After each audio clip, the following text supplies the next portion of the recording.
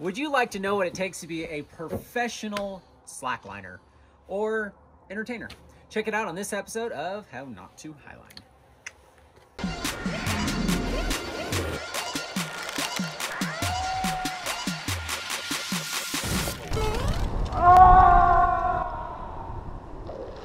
Hi, I'm Ryan Jenks, and welcome to Ouray, Colorado, where we decided to talk about what it takes to be a professional slackliner.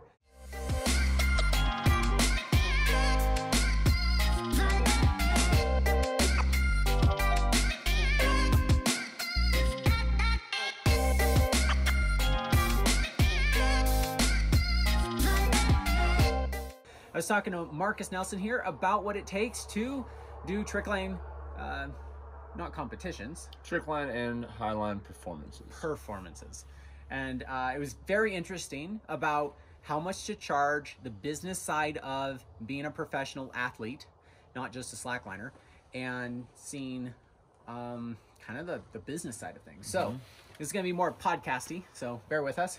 Um, so you have spent many moons on cruise ships. Yes. Yeah. How'd you get into cruise ships? So yeah, way before I did cruise ships, I did all sorts of little steps towards performing. So I did concerts and music gatherings and fairs and outdoor uh, sporting events that had like kayaking and mountain biking, all sorts of different things like that, where there were different performance-based activities that people were watching, whether it was uh, music or um, slacklining or anything along those lines. And Okay. there were different stages and different things set up. And there's all sorts of events like this, whether they're fairs or local events or corporate events or school-based events. Like, you always slacklined in that yes, context. yeah, Okay. yeah. So my performance art is slacklining. That's the one that I've always been involved in. I can do a little bit of other things here and there, maybe trampoline or juggling or handstands.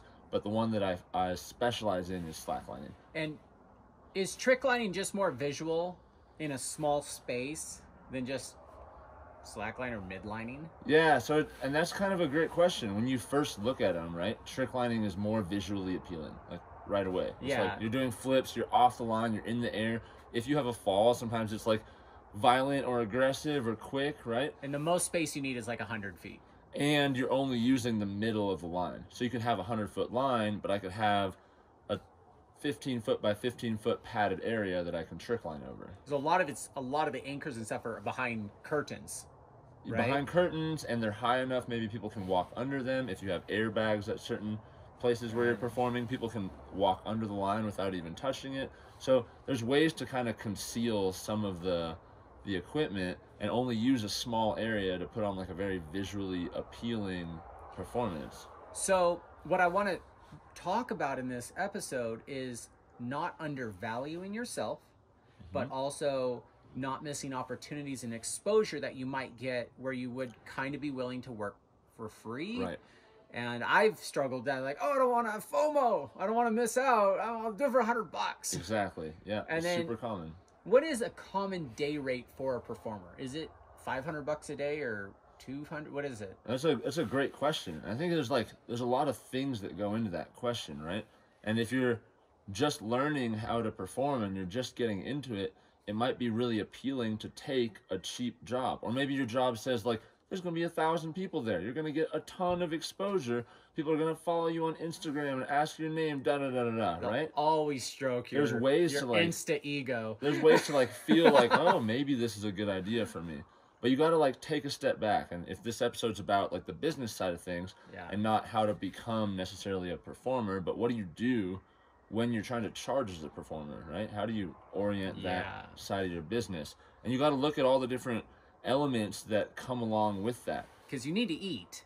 You can't you can't wait for ten years to get some big contract and get your movie. Exactly. And that's a great point. If I'm trying to build a lifestyle where I can be available for weekends on a moment's notice and I can drive places that are out of the way to do a performance and I can be training and sleeping and eating right, right? And doing all those things. If I'm trying to build a lifestyle like that, I can't charge nothing because Yeah. I'm not going to sustain myself. Yeah. And so you have to you have to like reevaluate what what am I really paying for? Am I, pay, I have to pay for my health insurance. I have to pay for my car insurance, and I have to pay for the slackline gear that wears out over time that I'm training on consistently. I have to pay for the healthy food I eat and all these other things that you know we, And we're all you have to train. and you have to train You- many hours. yeah, to you can't just oh when it's fun. Yeah, you have to like actually train. Yeah, exactly. So, how do you, without giving away your trade secrets, where the hell do you find gigs like this? Like, I don't not, I don't trick line, and I have other things to do. I'd rather go paint houses for a living if I need to go make money because Sure. that's what I'm used to, and that makes money. and that makes money. Uh, it's very, I don't know, quantifiable. It's like, oh, you want the outside painted, this thing, five, you know, five thousand dollars. And how do you make that And- number? And other people who paint, they might paint for twenty five dollars an hour because oh fuck their boss and they're only paying me fifteen. And it sounds like you're making a lot, but then you realize you're being called back for mistakes. You have to pay for the tools. It actually, what people without licenses in painting actually start to charge what I charge 50, 60, 70 bucks an hour, which is a normal licensed contractor rate, and and they don't have a license, right? So they, they start by undervaluing themselves. They're trying to push their way up, but all their clients up to that point are used to them being cheap. Exactly. And they wouldn't have hired an unlicensed Yeah. contractor and pay full price. So you can't charge $100 for a cruise line gig and then charge $1,000 the next time because you realize, oh, this isn't going to work. Yeah, if you start at a certain level and the people that are hiring you expect someone to be able to perform at that price, Yeah. And then I come and try to build on that and say, oh, you know, I want three times as much or whatever, Yeah. you're not going to get hired. yeah. And you, not only are you hurting yourself by valuing yourself very lowly, if you Yeah. realize what's gone into it, the many years of practice, and not only being a slackliner or not only being a hand balancer or whatever, but being a performer in that art, Yeah. there's all sorts of other elements that have taken a lot of time to develop. And you got to value that time that you've put into it, right? It's pretty niche what you do. Exactly. Well, it's pretty niche what I do, but it's like I don't trick line. There are a lot of trick liners, but not a lot of people who train hard to entertain. Exactly. And if I think a trick is really hard and it makes me happy when I land it, but it doesn't look very good to the crowd, Yeah. that doesn't matter. Yeah. And yeah. the and the audience is really what is creating your value. If you're Yeah. providing entertainment to the audience, you're creating value. If you don't know how to do that and you're a good trick liner, you're still missing certain elements of the puzzle. So by the time you build this whole puzzle, right? You figured out how to entertain, you figured out how to, to Yeah. be a performer, you have to value all of those aspects of that. The gear that you know how to use, the rigging of it, the the wear and tear, the gas that it takes to get to the place, the hotel for the night, the Yeah. food that you're eating, yada yada yada yada yada Yeah. down the line, right? And so if I charge five hundred dollars a day, someone might say, "Whoa, I don't make five hundred dollars a day at my nice desk job." And it's like, but you also have benefits, and you're working every day of the and you year, get paid and you get paid for five days and you get in paid that week. consecutively over and over and over, and it's consistent. Yeah. And you know that it's going to be there at the end of the week when you get paid. And so that's another element. If you're working for a month, I can value myself a little bit lower knowing that it's a consistent pay and that I'm going to be paid for a long period of time.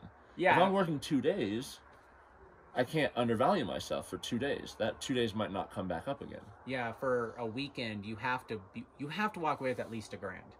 But yeah, if you were to work all month on a cruise ship, you could walk away with five grand, work every day, and all your, your food is paid for. yeah, Your gym membership is paid for. Your sleeping quarters are paid for. You have a community of people that are fun to be around and that you like Yeah. living with. So like there, there, right there, that's thousands of dollars a month, right? worth of, Of like entertainment, community, living expenses, Yeah. gas money I'm not paying for. I don't even need health insurance on the cruise ship. They pay for that. I don't need car insurance on the cruise ship. They Oh, pay for that. So all of a sudden, like, yeah, maybe it's only five grand a month, but compared to me trying to land four or five gigs a month outside of that and paying all those expensive, it's it's very different, expensive. How long is a cruise ship um, contract where you actually stay on the boat the whole time? So typically they're around nine months or longer, nine to eleven months, Wait. almost a whole year. You live on the boat the whole year. Yeah. And you, I mean, you, You get train off. for about two months in Miami. You you For learn the, the show. You learn show. all the Okay. choreographing, the costumes, the timing, the whole show. You train for like two months, and then Wow. you get on the ship, and you live there for nine months. Is that why you van life? Because before COVID, you, you You only needed a van a only- friend's you're house. van lifing literally as much as I van life because it's about one month in Moab a year. yeah, and then you could go perform on a cruise ship, huh. and your expenses are Wow. are minimized. I knew you did cruise ships. I did not know you spent a freaking year on them. yeah, a long time. Wow, I get too motion sick to spend that long on a boat or a day. Um, where do you find these gigs? Yeah, so like, uh, yeah, let's backpedal Yeah, to like the smaller gigs, right? Um, and that comes down to marketing yourself. There's there's this balance. If I want to charge ten thousand dollars for a day, I can't market myself. No one no one would buy that, right? They could go hire some other entertainment industry and get more value than I could provide them for Yeah. that. Right? So I try to balance that and I figured out I need this much money to travel and this much money for food and this much money for my hotel room. And I'm buying gear a lot, you know, to make Yeah. sure I have good gear and updated gear. Adding all of those into like an Excel sheet, then you think about what do you want to be paid per day, and you add that on top of all the other things that are happening. Add a little bit of wiggle room, and you're you're And you have a good equation, right? And you're calculating whether or not they're covering the food and covering the hotel. Yes. But if you have to, this is the rates. Yes. Yeah. Yep, and that's all communicated. That's like good stuff to, to be aware of. It's very easy, and I went through a large period of time doing this, where someone would say, two hundred dollars, three hundred dollars for this thing. Come do this show. You, You drive away with there, nothing. and you realize at the end of it that like I just paid money to go do a show for people because Yeah. all these other expenses were not taken care of, right? Yeah, and a lot of people, um, I know a lot of the audience is not slackliners since we do climbing videos and just break tests in general. But if you slackline or do, I don't know, performances of any sort, don't undervalue yourself.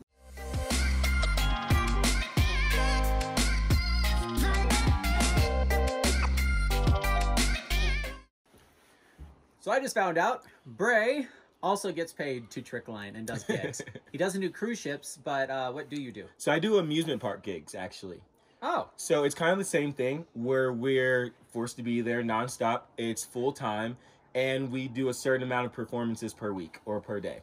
Okay. Do you travel for that? So I didn't have to travel. My amusement park was actually at a set location, similar to what you would go to as a kid roller coasters, Ferris rides, that sort of thing. And at the amusement park, they actually had a theater, and in the theater, that's where we did our performances. And this is near where you live?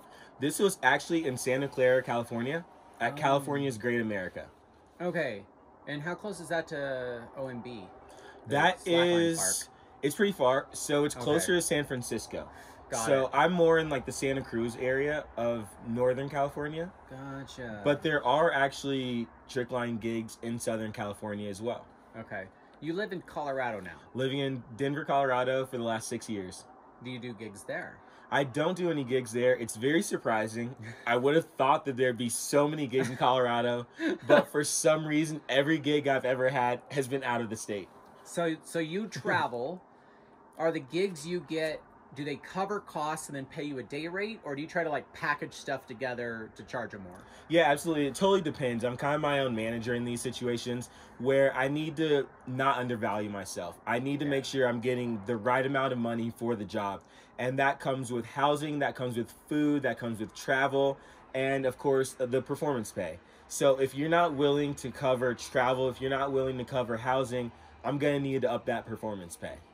Did you start when you started? Did you under uh, Definitely undervalued Undervalue myself. For sure. There were maybe Oh three my or God, four. someone wants trick on it was for sure, absolutely one of the first, like the first three or four gigs I did. Okay, yeah. I want to say the first one I may not even gotten paid for it. Yeah. They were like, "Yeah, we'll pay you," and me being just the nice guy, I never pursued it. Yeah. I don't think I ever got paid for it, and I'm still kicking myself in the butt. Like, dang, I did a lot of work for nothing. Like, Yeah.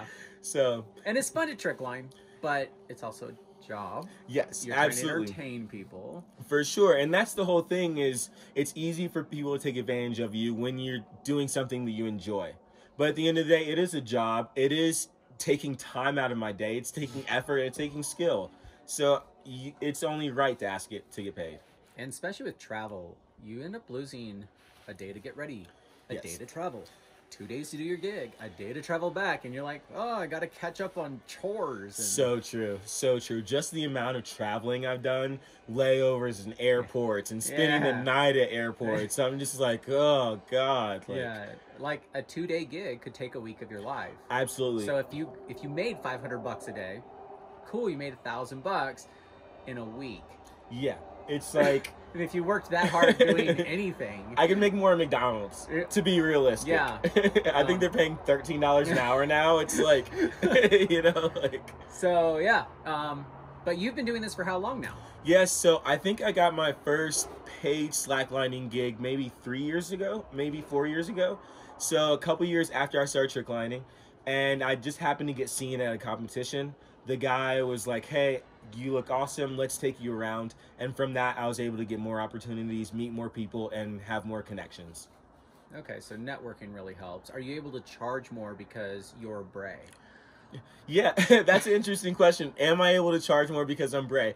Um, you know, I'd like to say yes. Or do you just get more opportunities? I think that I tend to get more opportunities just from networking, from knowing people, from pushing my skill level out there and pushing my desire to want to work out there. Yeah, that's also But you're always in the constraints of budgets, you know, Yeah. which is the hard part. People are always like, well, we don't know if that's in the budget. Yeah. and it's Oh. like, well, a lot of people will bullshit you to say it's not in their budget and they have the budget. it's really in the It's budget. just the way they bullshit you. Yeah, absolutely. And that's what I learned is it it really takes a little bit of aggressiveness on the actor's part or you have to be willing to say no. You do, and walk away from gigs. You have to be willing. Now, of course, you Yeah. don't want to. You have to be willing. I actually walked away from a gig because same situation. They undervalued me. I asked for mo- more money. They said it wasn't in the budget, and I said I wouldn't do it. I walked away, and they actually came back and said, "You know what? We can't hire you this year, but we are guaranteeing you next year, and we'll make sure we have the funds for you." So Well, they apparently did not have the money in the budget. they actually They didn't. were right. They actually didn't have the money in the budget that year. yeah. uh, but hey, it's good to know that you're not working for free. You don't want people Yeah. getting rich off your back. But of course, again, you don't want to be an entitled piece of shit thinking that you're the only trick liner out there. Um, Yeah, absolutely. It's definitely a fine line you walk. It's like, hey, I'm Bray, hire me, pay me all the money. It's like, maybe I should check my ego a little bit, you know? yeah. Um, So- I know Andy's got cool opportunities, but they really weren't going to pay that much. Um, I remember right, he was offered a job with Madonna after the Yep. Super Bowl thing, but it wasn't enough money to give up a year or two of his life. Yep. And you're like, well, why would you turn Madonna down? Well, like, if you're going to give up one or two of your best years of your life, It has you to be. have to make more than minimum wage. yeah, it's got to be worth it, you Yeah. know? Absolutely. Especially in this sport like slacklining, where it's physically demanding as well as mentally demanding, you know? And you know as well as anyone, just getting out there on the line Yeah. is a stressful factor. and performing is a thing. Doing your best trick doesn't always make the audience love you. I So am not a great highliner, but I just did a TV show with these guys about highlining. And so it's not about just who can walk. It was about story and sharing what is slack life. And so I felt like I could do that. Absolutely. And Absolutely. And that was one of the biggest things that I was saying is that everyone has something to offer. yeah. And I think one of the biggest crowd pleasing tricks is actually taking whippers. yes. you know, like Samuel Voller was telling Mia when they were in China, he was doing all these crazy freestyle tricks, and all the Chinese people would just be like, hmm. Then he would whip, and they'd be like, oh, and go crazy. He's like, Yeah. well, I guess whipping's the best trick. And Yeah. so, You have to learn an audience. You have to learn a whole different thing. I think running a business is different than slacklining. Performing is different than tricklining, and uh, it takes time to build that up. absolutely. And like you said, knowing your audience and knowing what you have to offer is key.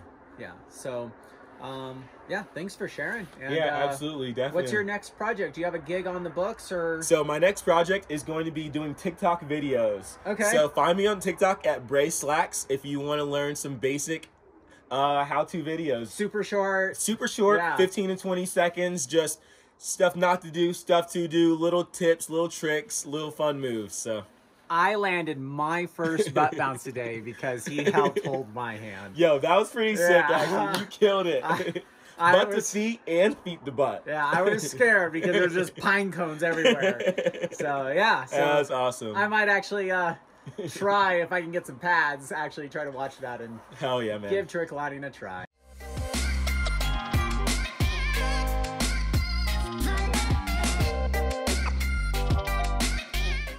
I have done gigs that are, you know, some pay more than others.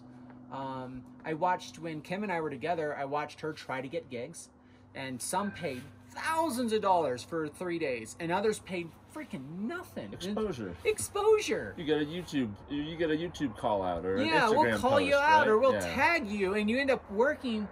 And man, the the social media age has really diluted people's value of niche skill sets. Exactly. And it happens in many different performance arts specifically where you have a niche skill set. Yeah. And when you really think about it and look back at the big picture, it takes a lot of effort to, to create that skill set. Yeah, But then there'll come along a younger generation or a, a less mature or less understanding generation that is trying to make money in the performance arts and they'll take something that's way less than than is Yeah. valued in the market currently. So it's like I'll give Marcus a shout out on this channel for underpaying him to do this interview with me.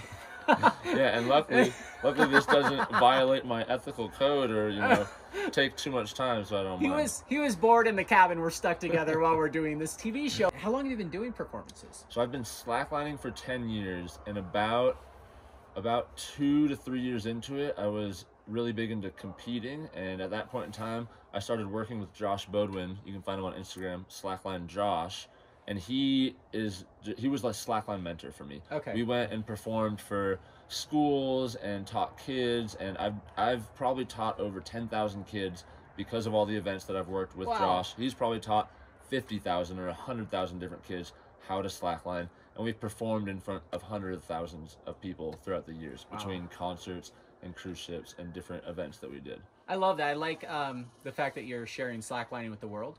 That's what the YouTube channel is basically about. Exactly. How not to highline as a foundation, and we're branching into climbing and arborist and caving eventually, and and, and it's business and performance. and yeah, literally, and it's fun to share highlining as, hey, I'm a highliner who does these other things, Mm-hmm. so more people understand what's slacklining. I'm so tired of explaining it to everyone, and that's another reason I think we all signed up to do the show. Yeah. We at the bottom core got an opportunity to share slacklining with tens of millions of people, and Which we have both done through other mediums already. yeah, so like it's already something we do. Mhm. Uh, it's not just about money. You don't, on the other flip side of things, don't want to be entitled piece of shit who thinks you're worth more than you are. more than you are. You Yeah. are doing a niche sport that literally Has few opportunities. thousands few of people can do for the hundreds of opportunities that are out there per year.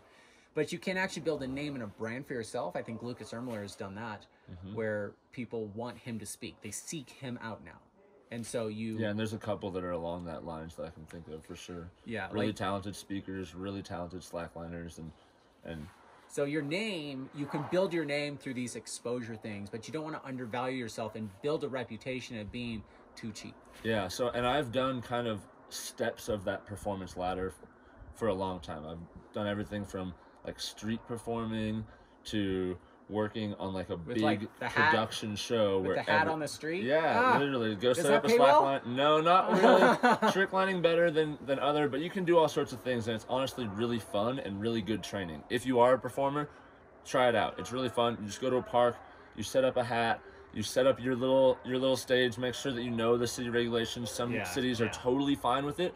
Other cities you have to fill out a permit. Some of the permits are free. You just have to put your name on it, print it out, say that you have a performance uh, permit. It depends on the city, but look into it. Set up a little hat, say donations, go practice your juggling routine or your tumbling routine or whatever it is. It's a great way to learn and practice and build that exposure and understanding of what your value really is. But when it comes down to bigger contracts, you need to think about a bigger picture. What are you really paying for? You're probably not working a regular job and working on a cruise ship.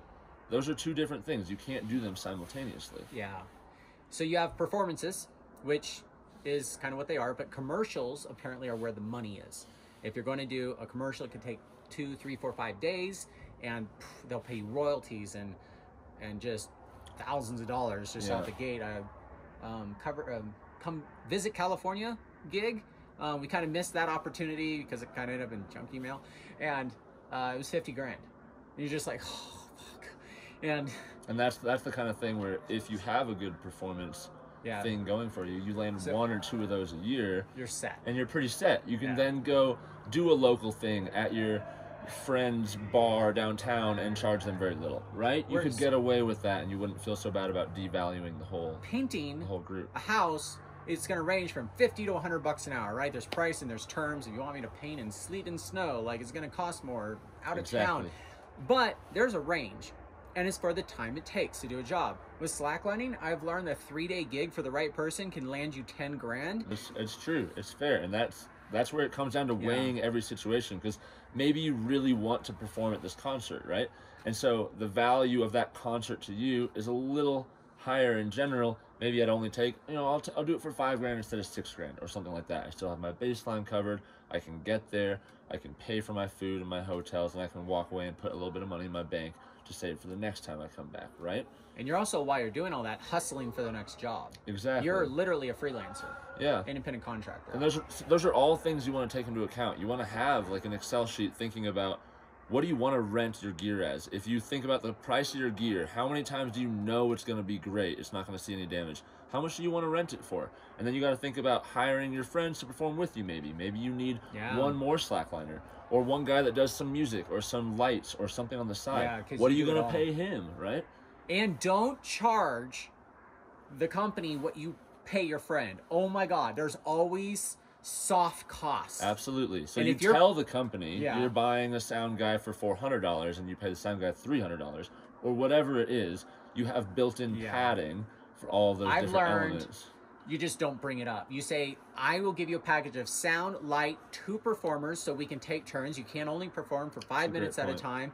And I'll provide my own insurance, my own this, and my own slack lines, my own rigging certs, all like you. it's like this package. Yeah. That's when you start charging more. But if you're like, I just labor. I could do stuff. Yeah, I'm No. a I'm just like pay me, you yeah, know. you got to sell yourself. That's like a. I've learned all this through just personal experience. I don't have any business background or the Yeah. ability really to to market myself in like a very professional way because I don't have a background in business and marketing. But I've learned a lot of You these learn, things yeah. through doing performances and through doing slacklining. And I've learned exactly what you said that all these things I'm talking about with a bunch of different elements and making sure that I'm going to pay myself for the gas and the hotels and the food and have that all covered. I'm not necessarily pointing that out to what I'm to the person that I'm selling the contract to. That's too many details. It's too much for them to look at. They just want to see Like- it's four grand for these two days. I have two slack lines, two performers. It that's and, it. and they don't have to think about anything. exactly. Yeah. Yeah. Um, uh, YouTube, we'll bring that up real quick. You're supposed to funnel people to your website and then have them go through your website and buy your book or buy It's your, a great your marketing product. strategy, right? It costs too much money to print these hats. It, it's like I didn't write the bolting Bible for a hundred people to to read it. Like the whole point was my, that was my way of giving back instead of rebolting an area yeah. was to teach as many people as possible how to rebolt properly. And so the donation based style that I've done this whole channel and website on has paid off in in gross. It just it's amazing how many so cool. people have supported the value I Mm-hmm. have. Like I value myself, but I also value the information and there's so many people in other countries that need to benefit from this information as well. I'm not trying to just withhold it for everyone who's got white or European privilege, right? It's like Sure. I want everyone to grow evenly in the slackline and climbing world with information. Yeah, totally. And that's a really cool mindset because it's it's like you have the ability to present this information and you know that it holds value and you value yourself and the information that you can spread, but you know that it's more valuable to just give it to everyone and then anyone that wants to support you in your Mm-hmm. endeavors with education can help donate and can help do that. And that way everyone gets the information, but you also get value out of it in return. I have finally a few months ago hit for the first time where all the expenses to run this channel, and I mean I break a lot of shit besides the things I'm trying to break, Absolutely. are covered by donations. And and it actually frees me That's up amazing. to, That's so to do this kind of full time. Like I might paint like 10 houses a year to just live off bare bones, but I can actually stop painting full time because I don't have to pay out of my pocket. I paid out of my pocket for four years to do this because I believed in it. Mm-hmm. So there is- it, just like any other hobby, right? And like and just performances too. Like you have to invest yourself into what you're doing. You don't just get to show up as a top paid performer. And so yeah, you have to present them with value. and one to three percent of people donate that watch the channel. And if you watch all the videos and read all the books and you really benefit from them, spot me twenty bucks, right? Yeah, and you feel, I think the more you get engaged in the content that you're creating or whatever value someone is giving, the more engaged you are with that, the more I feel good about giving money towards being engaged in it. If I feel like I really learned something from all the information you gave out, it's like, oh man, I feel like I owe you 10 bucks. It's not maybe a good business model, but I'm like, if reading about bolts was interesting for an hour for you and you're not gonna go bolt, cool. You know, don't forget to flush the toilet. You've been on it for an hour, uh, and and great. But if man, you learn how to bolt stuff and it saved you a thousand dollars in mistakes, and you've Yeah. binge watched all these videos every night for a month because COVID, it's nice if people just for twenty dollars chip in because it literally will pay because now I can get a dynamometer that reads 100,000 times per second. Drop test tower. Buy, literally buy shit just to break it. Totally. When I get home, I'm breaking totem cams. Totem cams. Mm, it's just too, tiny, it's too small of a company to just like kind of give them to me or whatever. Like I literally had to buy them. But I'm like, oh, I really want to know how strong the two lobes are. And I feel like I can do that because people donate my YouTube business model is super unique, whereas um, a performance TV is kind of like TV is going to give you what they give you, um, and commercials is where you make a lot of money. So if you want to pursue something, pursue a real career, and on the side pursue slackline stuff. For you, it worked out because you were not too worried about gaps in between jobs. Yeah, I would say in general, if you like want to be a performer and you want to work towards that, finding those middle grounds and ways to get your foot in the door while still doing other things is really important. If you want to go train in the park for two hours, and you could put a hat on the ground and actually see what tricks people do like and how the audience really does react. That's really good information for you if you then want to further those skills towards entertainment. And you're not wasting your time because you're training in the park and maybe you made 50 bucks by people watching and giving you 5 bucks here and there. That's really great. That's really cool. And you can do that while you do other things. Yeah, yeah, then- that's important. And then from there, you can then build up and get your foot in the door other ways. Call your Yeah. local fair, call your local outdoor music festival, send them videos that you know yeah, are impressive for you and for that have reacted well with the audience in the park, wherever, right? Send them those videos and then give them a reasonable price. Give them something that to you covers all your bases. Don't undervalue your whole market. Don't undervalue your friends that are doing the same thing. Make sure that you're covering all your bases. You have a little bit of padding on the end there. Give them a real price. And if you actually have created enough value as a performer, you'll get calls back. People will reach out to you. You'll want to be in places because people saw what value you had to offer. and build a resume. I like exactly. what you say. Like, exactly. That's huge. so It's actually, huge. when I get home, I'm going to put a spot on Slack.com for just about me or Ryan Jenks or something. As basically my LinkedIn is it's going to be. I just all the little slackline gigs I've done and see if I can get commercial gigs. Yep. Because if the exposure from this TV show actually happens, then I want somebody to be able to find me. If they're like, oh, that guy looks like a nerd, we want him. Mhm. And so you don't want to be unfindable. And so, yeah, a resume of anything you've done, street performance, even. It doesn't have to be a, an official gig. Yeah, and having your different um, social media things and different things kind of linked to each other is nice. Having like a link tree or something like that that kind of puts all your information together in one place is nice. I have like a little website that it's not very public, it's not very easy to find, but I can send it to people when I want Yeah, to. like a business and it has a list of all the events I've worked. It has things from all the way back to like 2012, different music festivals and things that I've worked. It also has a little album of pictures that I've taken of highliners and of different events and different things that I've done. And having something like that makes you all the more legitimate. It's like having a LinkedIn if you're uh, working a desk job, right? It's like having a portfolio if you're an artist. It's the same thing. If you have a list of the stuff you've done, you can showcase your value, other people that have been happy with your value, you're more likely to get a foot in the door, and you're more likely that people are going to take you seriously.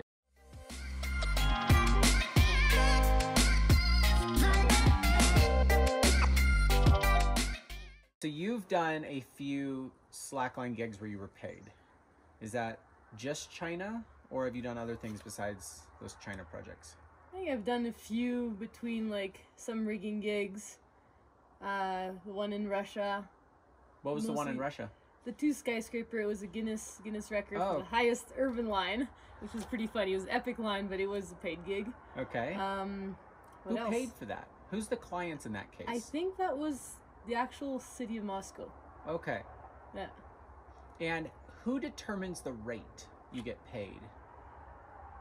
Do you have negotiation power when it comes to that? I think for most of the projects I've seen, like if I was interested enough to take part in it, I would Yeah. decide like, you know what?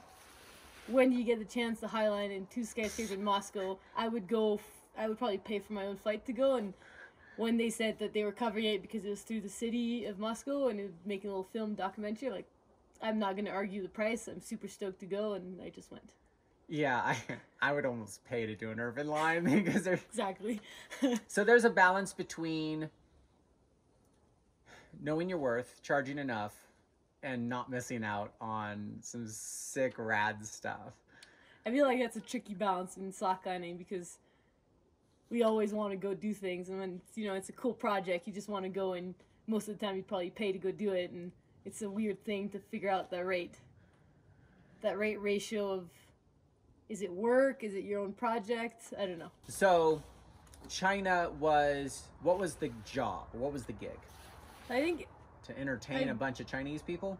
China in China, I think most of the time it's more of like a TV thing, but it's more like I guess they really promote a location using slacklining and they have it on TV. So people will see it on TV, they'll want to go to those locations and kind of promote kind of the area. And I think that's you talk, have to talk to uh, the what's his name, Anthony Uh-huh. Newton, to really know more of what that's about. But I feel like most of the things were really to promote a location, and they use slacklining as a show as something to film or something to kind of be interesting for that location. Like people will see it, they'll want to go walk around the park or the, the area. So how Instagram blows up areas, they're trying to do that intentionally. I believe that's the idea of it. I'm not entirely sure. Usually, I was just all s- super stoked to go see a cool place in Slackline, but I think that's the general because where you- get their money. Where you did it was beautiful. And they were trying to show it off to their world. I believe so. That's my my understanding. Did you have that any negotiation power for that gig? Usually, Or I I- was always going there as a slackliner. Usually, um, SDD team would go and rig and do all that stuff, and they were the negotiators. We would come up um, So- and slackline, and they kind of dealt with all of that. So SDD did all the negotiations and said, "This is the rate. Do you want to show up?" To, to me. Yeah, to yeah, you. Basically, that's Yeah. what they said. Yeah. So if you have that layer in between you two, you just, it's a yes or no. Mm-hmm. Exactly. Whereas sometimes you have negotiation power. Sometimes you have to like not ask for too much, Yeah. but you don't want to undervalue yourself and be like, "Oh my god, that sounds fun. I'll do it for free." Yeah. because then we'll never build this sport up to be an economical resource for people who want to make it a living. Yeah. And that's the trick. Um, it's hard to make a living at slacklining. You might actually get a gig that pays thousands of dollars for two days, but it's not a living. You're not Yeah. going to make a hundred thousand dollars a year slacklining. Yeah, And I feel like for me, unlike some people that do more shows and performances that actually go look to find work, Mhm. I've really never done that. I've basically just said yes to opportunities I was interested in that seemed like a cool thing. I've never actually looked for any works or any shows, and I think really to start building that, you need to be kind of wanting that and searching that and making it work. Because at my point, like for me, it's really when I have the opportunity to do something, I look at what it is.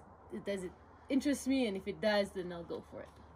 That's true. Some people actively look for jobs. Mark, Marcus looks for jobs. Right. I I don't know. Jobs kind of come mostly because I hang out with Andy. Like all I think all the jobs I've ever gotten is because Andy got a job and like hooked me up with being a sidekick. Right.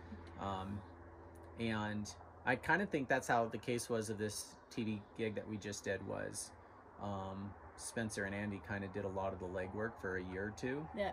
and then there was 15 of us total that got to say yes or no to the opportunity. Yeah. Yeah. I feel like it's a tricky tricky thing, especially in entertaining entertainment sport like slacklining or shows or like any circus performance or all that kind of stuff. I feel like it's a it's a tricky one. Do you feel like it's less fun to perform because there's pressure? You don't get to go when you want to go. You have to hurry and wait. I don't think it's necessarily less fun. I think it's just different. And I feel like personally I can do so much of that Okay. and it remains fun. But if I had, if that was fully my work all the time, I think I would probably get tired of it. And I think that's why I decided to not go searching for works within slacklining. At this point, I just like said yes to things that were cool, and I have enough to to get around and do fun things, but not too much to get sick of it. Because I really slackline because I like to slackline. That's basically it. Yeah, you do. so China was how how many weeks? I've how many times have I been to China? I think I've been to China six or seven times. Do they pay progressively more each time?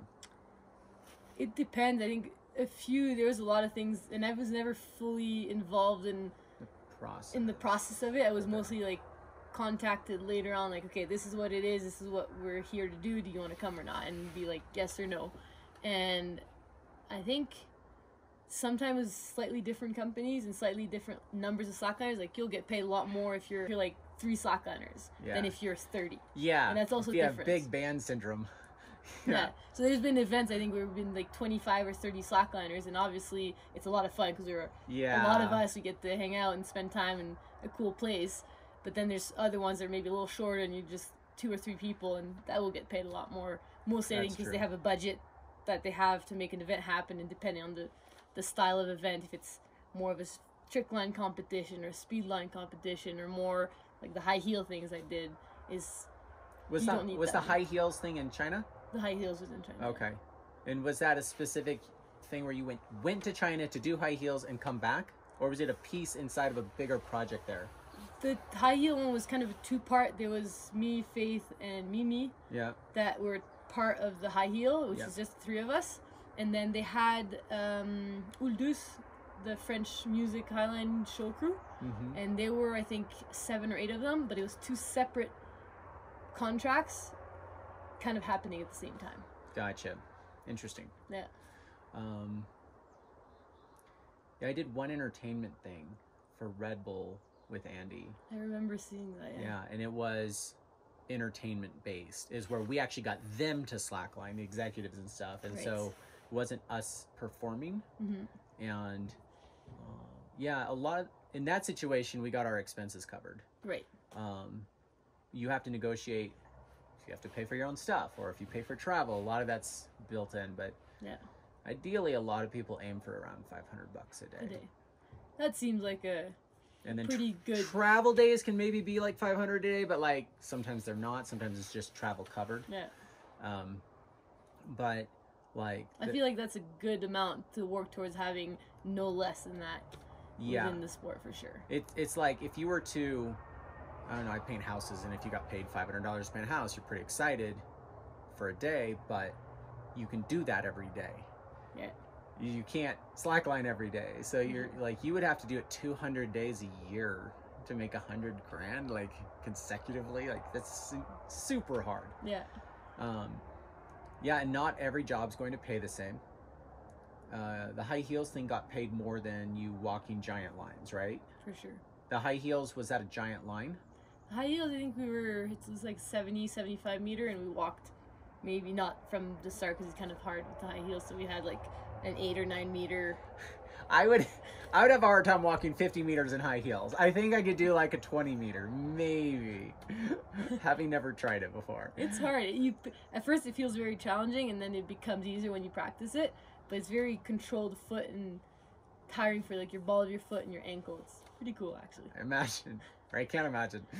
Um, but yeah, so things are all kind of over the board with pricing. Um, do you have Yeah. any other projects planned that are paid or just cool projects in the future? I have a potential gig with um, Olympic Channel. Okay. Uh, we'll see if this contract allows me to do it or not. Yeah. But there's a few things that's still up in the air and unknown, especially because of all COVID stuff and travel. Yeah. But we'll see. You can do things for exposure, but you don't want to do that so much to where there's never going to be money. You can't charge a hundred dollars per for a performance and then expect a thousand dollars the next time, which is actually what you probably need Yeah. if you're traveling far distances. Uh, I think the tricky part these days that you'll always find the slackliners super stoked that would travel for free because they just want to go. That it's hard to find that right balance of you know, do you try to push to be paid a bit more for let's say China events, or will they just stop hiring you and hire people that will go for free? And that's the tricky thing. Go to the next hashtag slacklining on Instagram and find the next person who's exactly. got a lot of slack pictures. Yeah, so um, make sure you value yourself and weigh the options of exposure versus pay versus contracts versus if you find it fun. Life is short. Make sure you enjoy everything you're doing, even the slack contracts. Yeah. So, thank you for sharing. Yeah.